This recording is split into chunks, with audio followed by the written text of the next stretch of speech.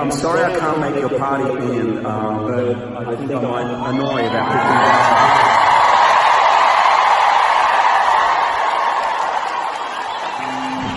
15 Love you,